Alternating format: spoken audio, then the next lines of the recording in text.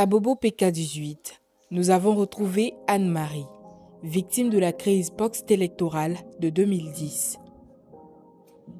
Elle habitait Yopougon quand tout a basculé. Dans la maison familiale, elle vivait avec son frère et sa mère.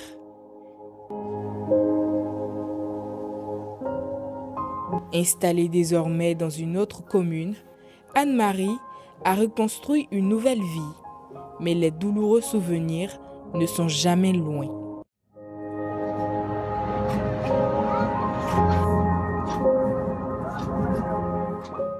C'était le 11 septembre, quand tout a basculé.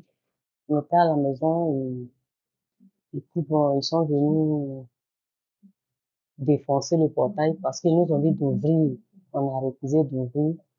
Donc, ils ont dû, défoncer le portail. Et ils sont rentrés. Quand ils sont rentrés, et puis ils ont demandé, il n'y a pas d'homme ici.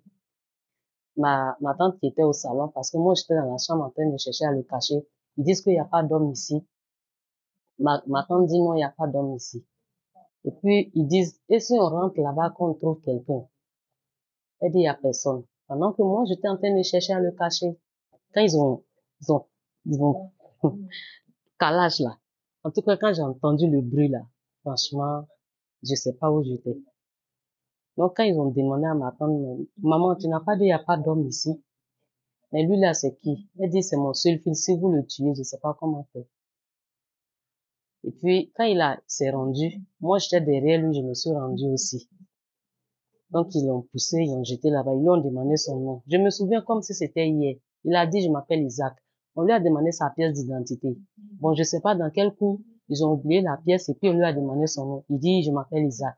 Le nom est resté jusqu'à aujourd'hui. Il dit, il s'appelle Isaac. Ils disent, bon, ils ont pris le crosse de Kalash là, ils l'ont balancé là-bas. Et puis bon, nous, on était seuls. J'étais seul avec, euh, ils étaient deux. J'étais seul avec eux. Donc, bon, voilà. Je crois, je crois, on a fait moins 30 minutes comme ça, et puis bon, ils sont sortis. Une décennie après, la question de la réconciliation nationale se pose en Côte d'Ivoire. Marcory. Nous avons retrouvé Beugré, ex-calligraphe, également victime de la crise. Il s'en souvient comme si c'était hier. Dans la crise euh, de 2010, comme étant sérigraphe, on avait eu des t-shirts à faire. C'était les t-shirts de certains candidats, ceux qui se présentaient à l'élection présidentielle.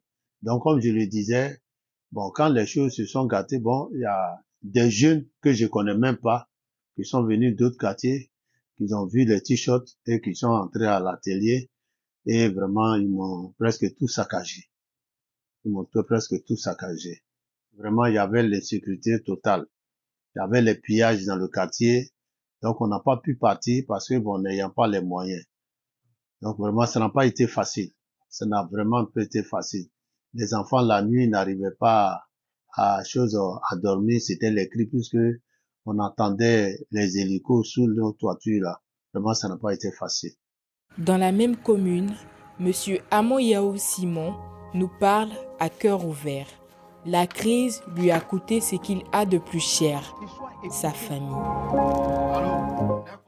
C'est douloureux, mais si on n'en parle pas, c'est pas bien aussi. Pour que nos autorités nous entendent, tous nous entendent. Ce qui s'est passé là, en plus dur à ce que ça passe pas. Aujourd'hui, j'ai mes deux frères même, c'est le traumatisme direct, qui sont à Demoko. Il y a un, lui maintenant, quand il parle là, on peut pas. Au début, quand il est arrivé, il est quitté dans son champ, qu'il est arrivé, vraiment, c'était, c'était pas facile. Il tombe en brousse, ma maman l'attrape, son frère l'aide, à son âme, tout le monde l'a aidé. Mais aujourd'hui, il y a des séquelles. Il se met dans le village, il dit, ce qu'il veut parler, on peut pas l'arrêter. Mon frère n'était pas comme ça. Il y a un qui est arrivé encore, de Dessoubré, lui-même c'est grave. Quand il veut manger, qu'on dirait que c'est un fou. Il fait des choses, c'est pas humain. Il est sur le bras de ma mère. Ma sœur, à Soubré, quand vous arrivez à Yabayo, vous partez à Gumero, vous voyez le chef, vous lui demandez, c'est par les balles que ma sœur est partie. Il appelait ma mère, on ne pouvait pas partir. Elle est décédée. C'est des trucs, c'est des trucs, ça fait mal. La normalisation du climat politique et social a été rendue possible grâce à des initiatives du gouvernement ivoirien, qui, à travers la mise en œuvre du programme Une Côte d'Ivoire solidaire, démontre son engagement en faveur de la réconciliation, mais la paix. Un simple mot ou une réalité pour les victimes? Le vivre ensemble, la cohésion sociale, il y a longtemps on a commencé il y a longtemps, on a commencé à, à, se pardonner, à vivre ensemble, à collaborer encore. Mais il y a quelque chose, il y a quelque chose encore qui fait encore, qui, qui, qui fait encore mal. Nous, victimes là, on a pardonné, on vit ensemble, mais il faut que les réparations soient faites. Il faut que ceux qui ont, ceux qui ont causé du tort aux gens là, il faut qu'ils reconnaissent et puis réparer. Quand je parle de réparation, quand ils sont venus, ils ont, ils ont, il, y a eu des vols, il y a eu viol, il y a eu vol, il y a eu pillage et tout. Donc, comment on peut se retrouver s'il n'y a pas réparation? La réparation peut pas être peut-être totale, mais il faut que le gouvernement ait un penchant vers nous pour nous soulager un peu quand même. Le message que j'ai à faire passer aux victimes, c'est de mettre bas à terre. Nous sommes condamnés à, vivre ensemble. Ce qui est arrivé est arrivé qu'ils mettent tous, mettons, je leur demande seulement de, de pardonner. Il n'y a que le pardon qui puisse nous emmener de, de, de l'avant. Dans les autres pays, il y a eu la guerre, mais c'est le pardon qui a fait qu'aujourd'hui, le pays est en avant. Parce que sans la paix, on ne peut rien. Parce que les Ivoiriens l'ont expérimenté. Au début, on ne savait pas ce que c'est que la paix. Mais aujourd'hui, avec ce qui s'est passé, l'Ivoirien sait ce que c'est que la paix. Donc pour moi, la paix est très précieuse. D'une façon générale, il s'agit de tirer les leçons des différentes crises passées en Côte d'Ivoire, sans oublier l'essentiel, consolider le peu de paix qui nous reste. Une crise, elle est multiforme.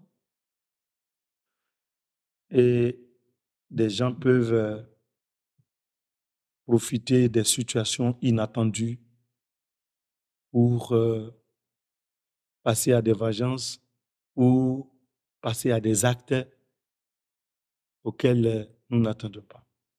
Donc, en tant que tel, défenseur des droits des victimes, moi je lui et défenseur donc de la Côte d'Ivoire, je souhaite que la situation des victimes soit réglée pour ne pas qu'on donne des alibis, des arguments pour fragiliser cette paix sociale. Pour cela, je suis donc euh, même de, de prendre en compte tout ce qui se passe autour de nous et faire en sorte que la thématique, tout ce qui peut être en rapport avec euh, la violence et les trous, n'émane pas de la situation des victimes les frustrations que les gens ont se transmettent de famille en famille, donc de génération en génération. Et donc, si on se dit que le temps va faire son travail et que même si on n'a pas réglé la question des victimes et qu'on arrive à développer le pays et que les gens arrivent à se nourrir, la question va se régler d'elle-même, je pense que c'est un choix risqué. Parce que demain, ces frustrations peuvent s'exprimer d'une manière ou d'une autre. Donc, au gouvernement, je l'encourage véritablement à remettre la question de la réparation des victimes au centre des préoccupations et voir comment soulager ces personnes.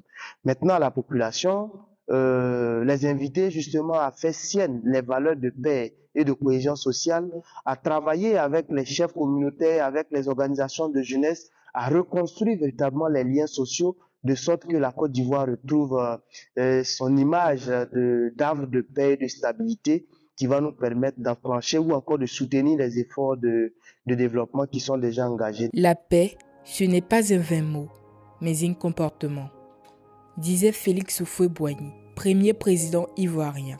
Une citation plus que vraie aujourd'hui.